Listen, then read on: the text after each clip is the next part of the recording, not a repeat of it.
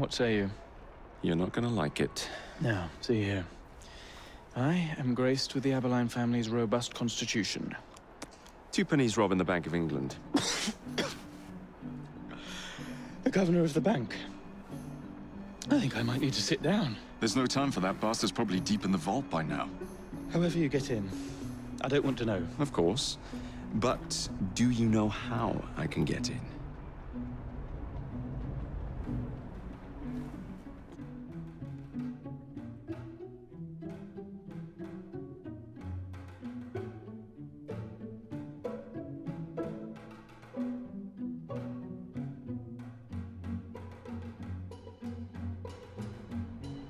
Bank is designed to protect England's gold reserves. Fortress, guarded under lock and key. There is the bank manager, Mr. Osborne. Only he is allowed free access to the vault. You can spot him near the entrance. And, oh yes, one man keeps a close watch on the vault door. He watches it like a hawk. If he sees you, he's sure to seal it. The guard captain, Gus Howard, knows Twopenny well. He is in on this, I'm certain. Mr. Frye, please use discretion. The only way to implicate Twopenny is to catch him in the act. Do not jeopardize him. No big displays. This is the Bank of England. If you encounter any trouble, I'll be in the atrium in disguise. Twopenny won't be leaving that vault.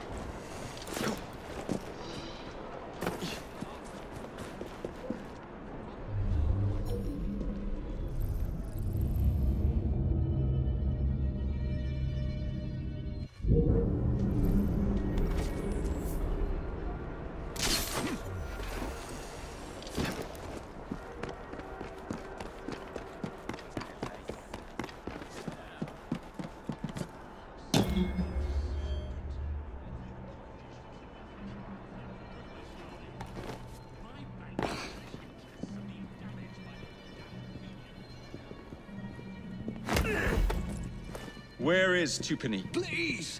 I have a family. He's in the vault ogling his priceless paintings.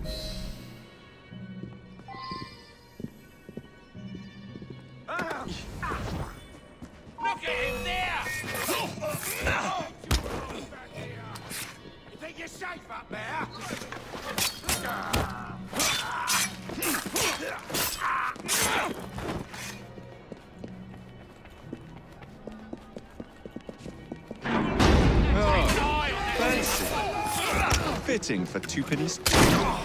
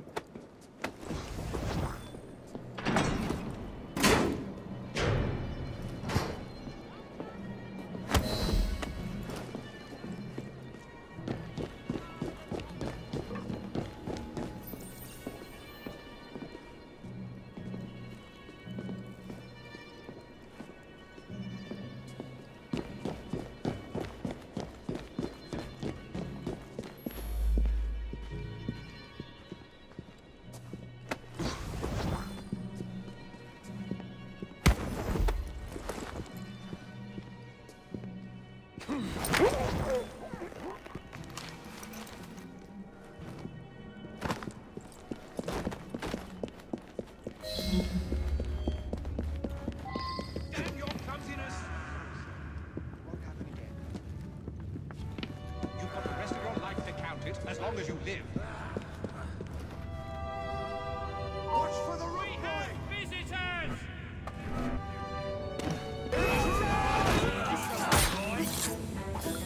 I won't miss. This does it! Send him with rage!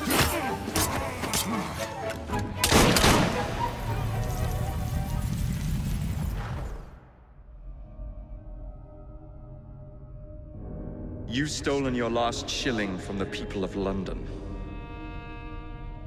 Those animals squander their savings. We are the experts in investment.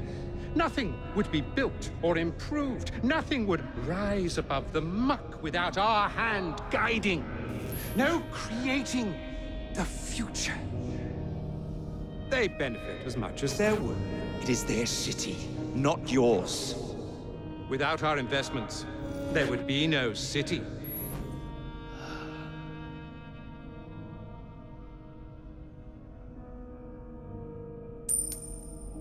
For the path of the dead.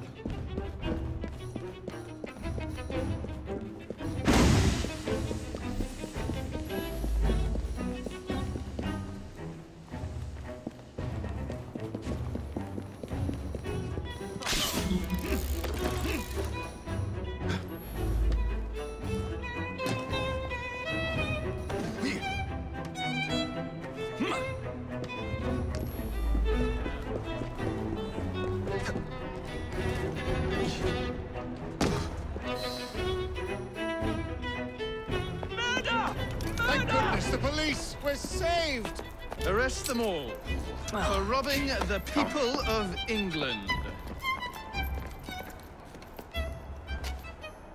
The Bank of England is closed until further notice.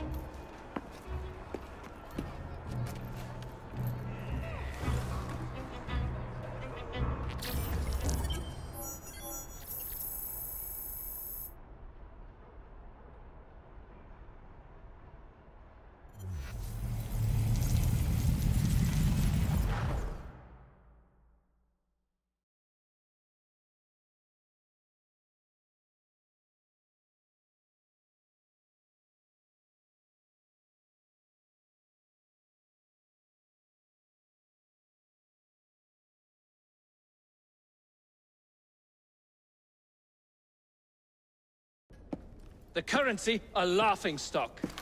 Inflation out of control, Twopenny brutally murdered. And yet Parliament does nothing. The bill will be defeated, sir. That buffoon Disraeli shall be taken care of. It has been arranged, upon my honor. Your honor carries little weight. How dare you, sir! The poor people of this city have suffered enough. Today I granted a significant rise to my staff in order to counter inflation. What? I would supply all of London if I could. Meanwhile, you sit in your club and wax poetic with promises your honor cannot pay. Your family's fortune, however. I wonder what they would offer to keep your record out of the newspapers. About the same as Disraeli would offer for your balls, I'd wager. But let's be generous. Why limit ourselves to one or the other when we can have it all? What say you, sir? Shall I come collect? No more dallying. The halls of Parliament must be free to govern. Again. Understood? You may see yourself out.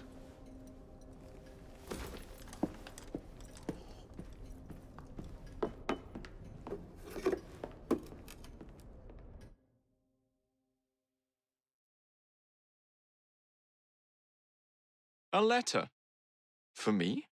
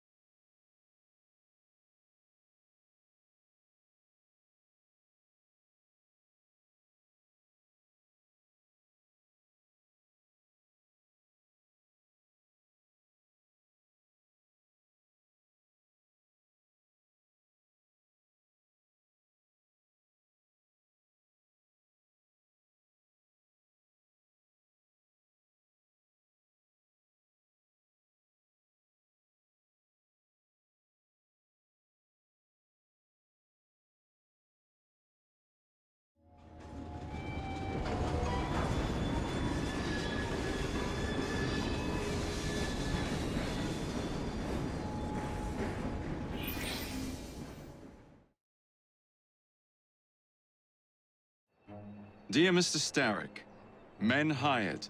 Strike tomorrow. Disraeli's death will stall Corrupt Practices Act indefinitely. Gladstone will be far more pliable. May the father, etc., etc. be. So Starrick's got his finger in politics, has he? I need to enter the Sinopian Club and find out who B is. Tread delicately around Parliament. As if I don't usually. Your indiscretion at the Bank of England caused British currency to nearly collapse. Nearly is the operative word. Speaking of collapses, what of the key you found that unlocks very little? Henry took it for research. I am confident that the vault is ours. Nearly ours, Evie. Nearly.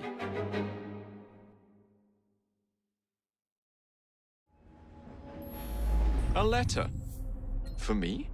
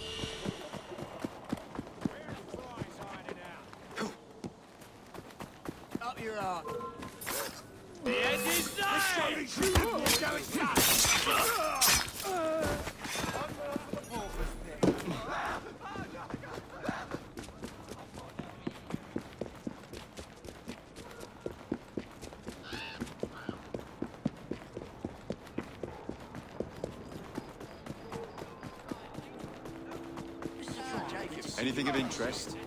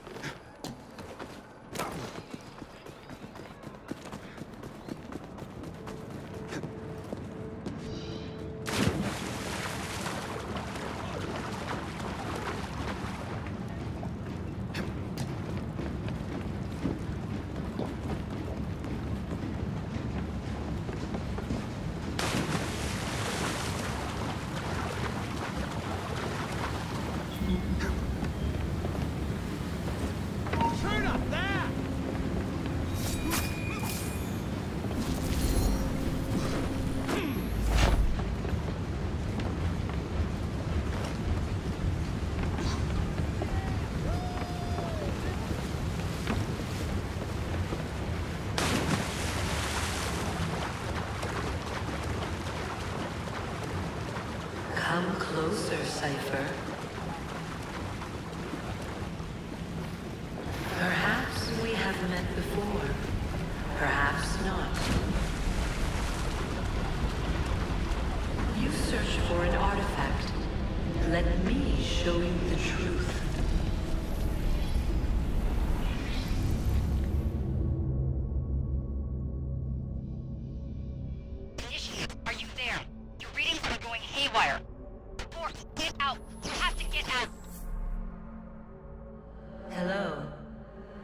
Past, you hunt for one of my artifacts. But I come to you today to speak of the future. Follow Lydia Frye. She will lead you to me.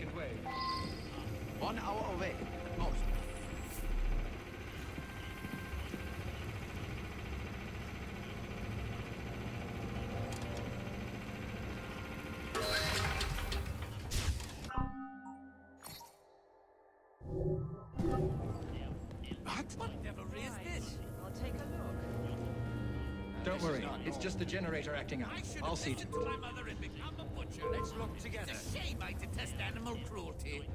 Ah well, a Templar's life for me, I suppose. Here we go.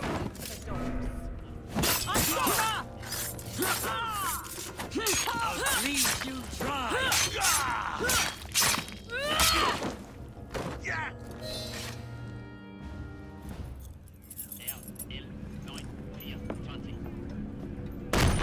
Stop right there! That's not very polite. Even in these trying times, we must never forget the laws of common courtesy. Arms down.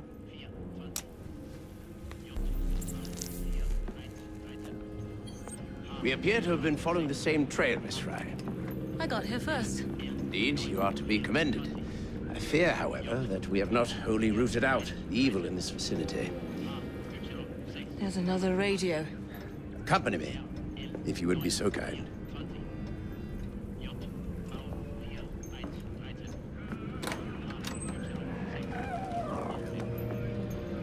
Second device must be found, or new waves of Zeppelins will soon blanket the heavens. Short on soldiers, are we? If you could put your considerable talents to good use at Tower Bridge, you would have the thanks of a brave but beleaguered nation. I would settle for the right to vote.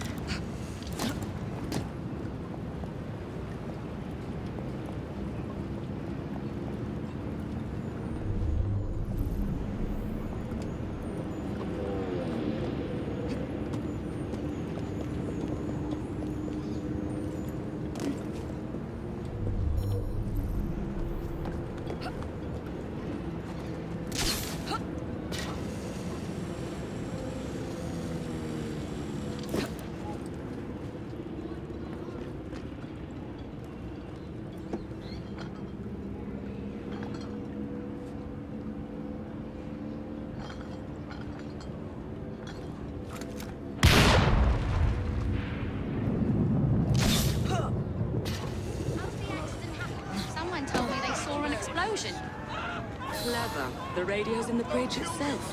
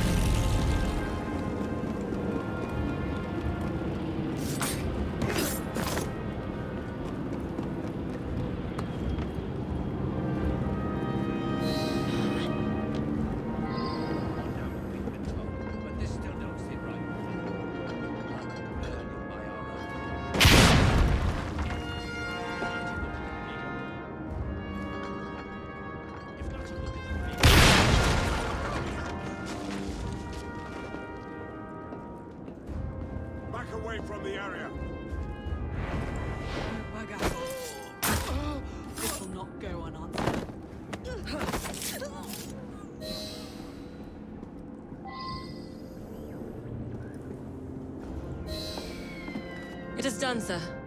Let us postpone celebrations. One of the bloody blimps has broken through. Not to worry. I have a contingency plan.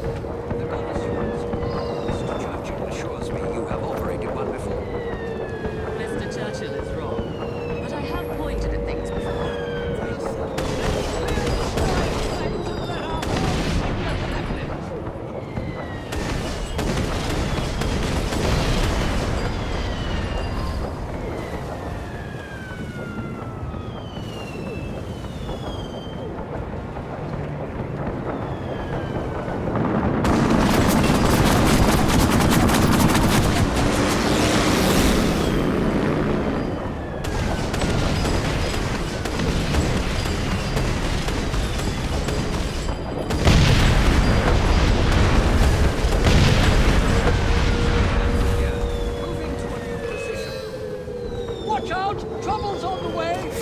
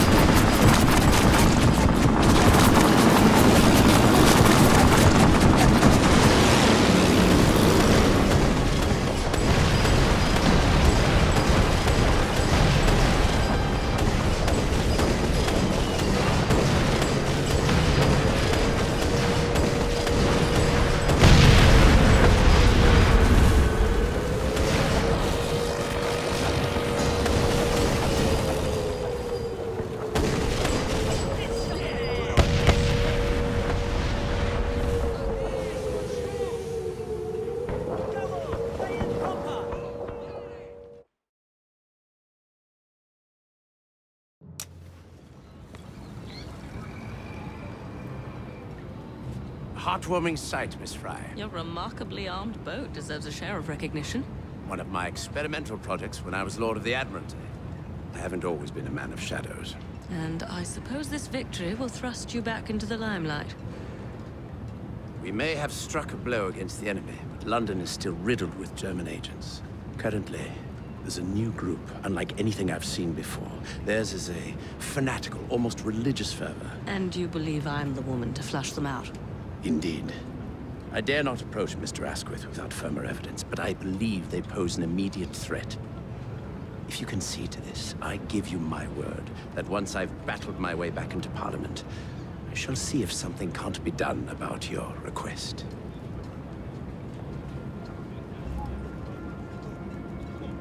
As you are aware, a vote can be far more lethal than a bullet or a blade.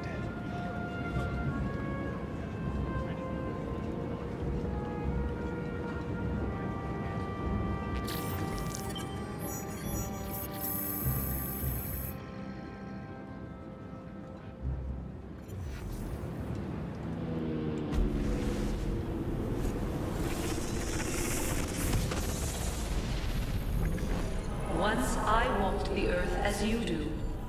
I was born to the Illuminat caste in the city of Phaon in the year 2195 of the Isu era. Now I travel the vast corridors of your machines, adrift here within the gray. But I grow stronger. The world is nearly ready for my return.